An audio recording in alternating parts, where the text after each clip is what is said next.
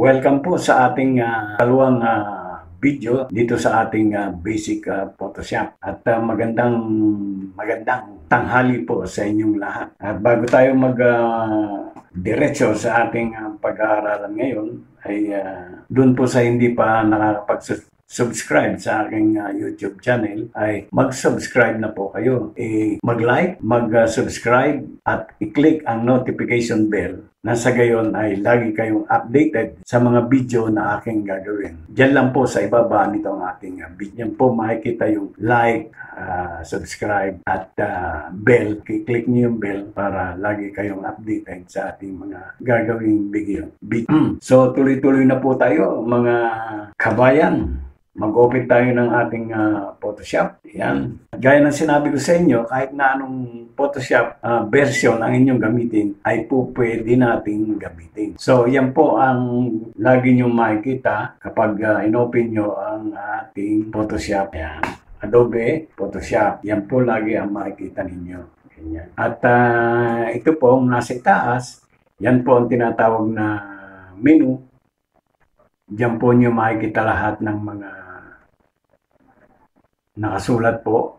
Find, Edit, Image, Layer, Select, Filter, Analyze, 3D, View, Windows, Help, VR, MB, at uh, View Extra. Ayan po lahat ito ay nandito sa menu na ito. So, hindi pa naman masyadong importante yan. Pero dito sa lahat ng ano dito, pag uh, gumawa kayo ng bagong file, dito kayo magkiklik sa file. Yan. File, file, new. Ganon. New kaagad. Yan. Oh. So, paglabas nitong uh, ang ilalagay nyo dito ay uh, international paper. Pag international paper ang sinilik nyo, ay uh, lalabas ay A4 size. So, ibig sabihin, yung A4, yung typewriting na ginagamit natin, yung 21 centimeters yun. So, change mo sa centimeters para madaling ma maintindihan ang sukat at laging eksakto. So, ang height noon ay 29.7 centimeters. Ang resolution, 300 pixels per inch. Ayan. Ang color mode, RGB, 8-bit. Ang background, background, ang ibig sabihin itong background na ito, ay uh, ang uh, kulay dito ay white. White ang ginagamit ko. Pwede naman gamitin mo transparency. O, oh, ayan. O, so white ang ginagamit ko. Advanced wala. So, okay ka na agad dito. Yan ang lalabas. Bali, ito yung uh, size ng A4. Bali, 300 uh, uh, pixel per inch ang ano niyan, ang resolution. 300 ang resolution. Yan. So, meron ka ng uh, file ngayon. Uh, gawin natin, rotate natin, image, uh, rotate. Yan, image rotation. 30, uh, 180 degree, 90 degree, 90 degree counterclockwise. Yan, yan lang. So, 90 degree para ano yan. Ang, ang tawag dito ay landscape uh, file. Yung kanilang nakatayo, ayan, ito ang portrait uh, file yan, portrait. Oh. So, itong pag mo, ang tawag dyan ay landscape. So, so sunod tayo dito sa gawing kanan, kaliwa, na ito, na dito lahat, yung galing kaliwa na ito, ay nandito lahat ang tinatawag nating uh, tools na ginagamit sa pagbuo ng isang design, pagbuo ng kung ano-ano, etc. etc. Yun. At yung nasa itaas, ang kauna-unahang uh, tools na ginagamit ay move tools. Move tool. So, yun. Yun sa pangalawa ay selection tools. Selection tools ay binubuo ng iba-ibang klaseng uh, korte, uh, shape, rectangular shape, uh, circular, elliptical, or uh, circle, like that. At saka single, single row, mark tools. Yan. At saka single column mark tool. Yan. So, may kanya-kanyang mga gamit yan. So, at ito naman sumunod, ito naman sumunod ay uh, lasso tools. Yan. Lasso tools, pag kinilik mo siya, uh, polygonal lasso tools. Ang, da, ang lalabas sa'yo tatlo, magnetic lasso tool. Pero ano din yan, parang selection tool din. So, ganon. Sumunod naman, ang sumunod ay uh, Magic Wand. Doon, dalawa, dalawa ang makikita nyo sa Magic Wand. Isang Quick Selection Tool at saka isang Magic Wand Tools. Yan. May kanya-kanyang mga gamit dyan. Uh, ito namang sumunod ay ang, tina ang tinatawag natin na crop tools, slice tool, at saka slice select tool. Yan. Ang sumunod naman ay uh, eyedropper. Eyedropper sa pag-select ng uh, kulay. Yan. Uh, color sampler tool. Yan. Ruler. Dito rin makikita yung ruler tool. At dito rin makikita yung uh, note tool. Tsaka uh, number count tool. Yan. Diyan sa kwan yan. Pero hindi naman natin masyadong magagamit yan dahil dito pa lang sa kwan, maimumove na kagad natin, makukuha niyo yung shortcut, matutunan din nyo. Uh, sumunod ay spot healing brush tool. Uh, healing brush tool, patch tool, so red eye tool. Ang sumunod naman ay brush tool, pencil tool, color replacement tool, mixer brush tool. Ayan. So, ang sumunod, clone stamp tool and pattern stamp tool. Sumunod, history brush tool, art history brush tool. Ang sumunod naman ay eraser tool, background eraser tool, at Magic Eraser Tool. Ang sumunod naman ay itong gradient tool and paint bucket tools. Ang sumunod, blur tool, sharpen tool, smudge tool, tatlo lang sila, ganyan. Sumunod naman ay dodge tool, burn tool, and sponge tool. Yun. And next, pen tool na siyang pinaka-importanting matutunan nyo, yung pen tool na yan. Dahil talagang yan ang uh, madalas na gamitin pag uh, select or uh, ng mga images. Uh, meron pa siyang pre preform pen tool. Merong add anchor point tool, delete anchor point tool, and convert point tool. Yan. Ang sumunod ay text, letter T. Text yan, ibig sabihin text. Horizontal type tool.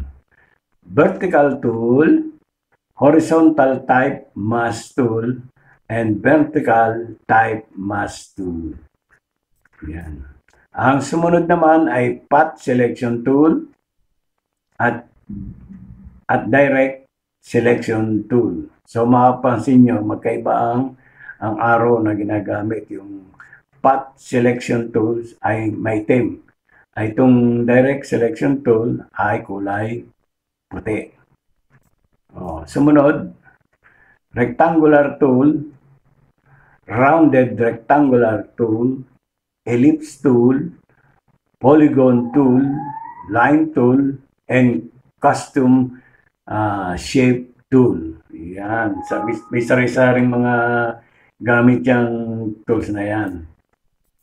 So, ang sumunod ay 3D Object Rotate Tool. Ito, hindi pa naman masyado natin magagamit yan. Yung 3D Object Roll Tool. Hindi pa natin yan magagamit. No?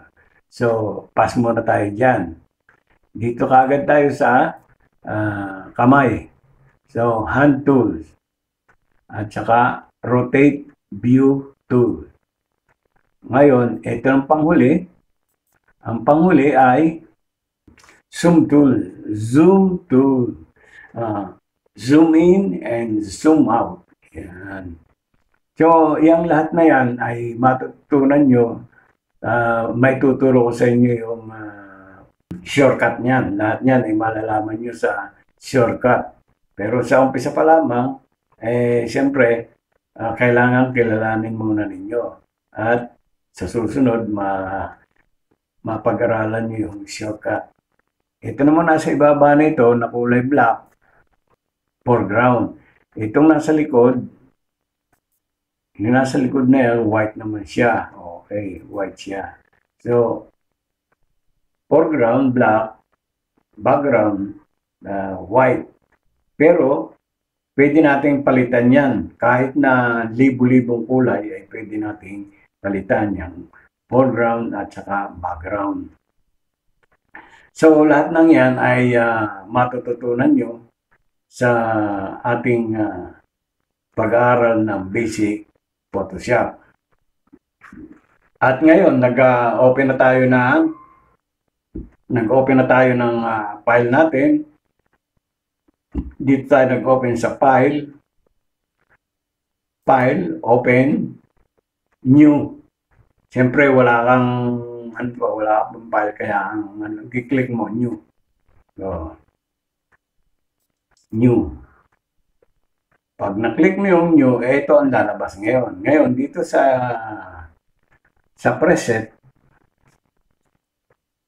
mamimili ka dyan kung anong gusto mo, kung gusto mo ng uh, malabo mata natin, international, default Photoshop size, US paper size, uh, photo, web, mobile, film, and video, and type editor. So, yung nasa taas, ang uh, name or title.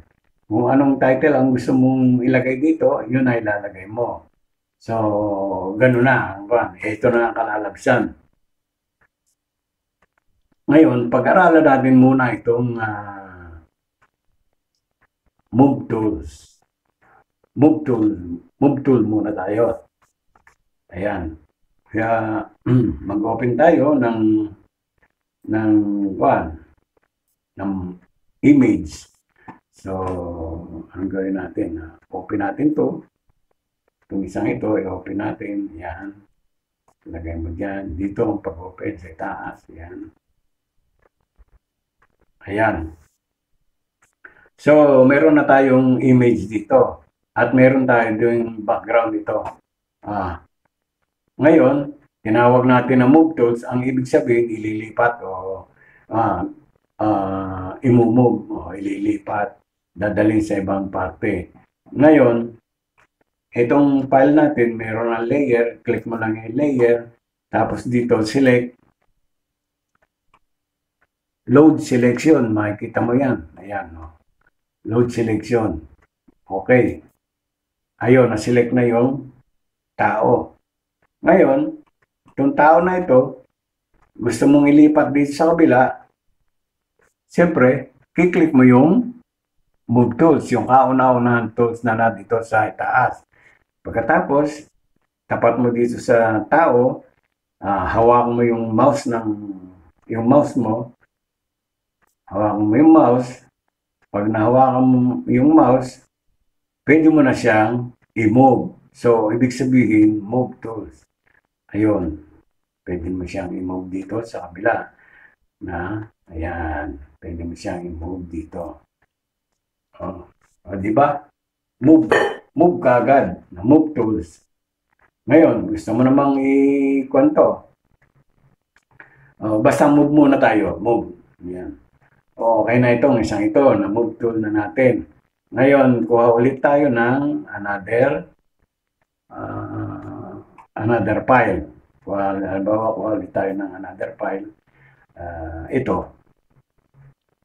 Tama lang siguro yun mga dalawang ano natin, sample ay uh, pwede na. Ito, katulad nito, ito ang, ang picture nitong mga estudyante ko na uh, ano ba ito, bakasyon. Oh. So ngayon, halimbawa, itong uh, itong mukha nito, gusto mo ilipat dito sa kabila. So, iso mo muna siya. Palakihan mo yan. Oh. So, ang gagamitin natin dito ay move tools. Kasi nasa move tool tayo. Hmm. So, gagamit, gagamitan mo ng, kiklik mo yung uh, selection tools. Ayan, selection tools. Halimbawa, ito, itong mukha na to, gusto mong ilipat dito sa kabila. Ayan. I-click mo siya dito. Oh. Tapos, hawakan mo yung move tool. Pag nahawakan mo yung move tool, silahin mo siya. Lilipat siya dito sa kabila. Yun. So, nagamit mo kagad yung move tool. Ngayon, makikita nyo na hindi naman bagay yung leg. Maliit ang leg nitong kinuha natin kaysa dito sa leg ng uh, pinaglipatan natin. So, Control T, Control T, ibig sabihin scale, tapos hawakan ng Shift, Shift, Shift Alt, yan, Shift Alt, pwedeng Shift lang, so, halimbawa Shift lang ang ginamit ko, sa isang tabi lang ang ano niya, yun. Oh. So, bumaga yung laki nung leeg habulin mo yung laki ng leg nung pinaglipatan. Ayan. Pagkatapos, yung uh, enter. Ayan. Andiyan na siya. Nakalipat na kaagad. Uh, mapapansin mo, magkaiba ang kulay. Magkaiba ang kulay nitong leg ng pinaglipatan at saka leg ng ang ulo ng tao. Magkaiba. Pero hindi pa tayo dyan. Hindi pa uh, sa next natin na ituro sa inyo yan. Oh, so, ganyan. So, ibig sabihin, move tools. Move lang ang ating ginamit. Yan, move lang. Ganyan, move lang siya. So, so, yun ang sinasabi na move tools. Balik mo, Control Z. Control Z, yun, bumalik. So,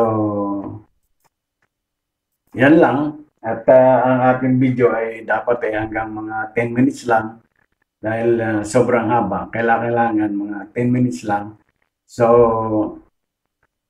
hanggang sa muli, uh, subaybayan nyo ang, uh, ang susunod na video natin ay kailangan masundan nyo para sa susunod nating video ay gagamitin naman natin yung selection tools. Uh, sa bagay, nagamit natin na selection tools ngayon at saka uh, move tools. So, sa susunod nating video ay uh, selection tools, madadagdagan na ang ating mga movement. Yan. Hanggang sa ma, ma pag mapag-aralan natin lahat na malaman nyo ganyan, lahat ng tools na yan kung paano gamitin. Uh, so, hanggang sa susunod na video, suwaybayan nyo para madali nyong matutunan. Maraming salamat po at huwag kalilimutan mag-like, mag-subscribe, at i-click ang notification bell na sa gayon ay makasunod kayo dito sa ating basic Photoshop. Maraming salamat po. Bye-bye. Hasta la vista. Mabalos masalam.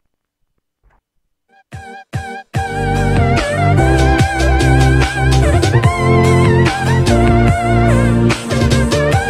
you. Thank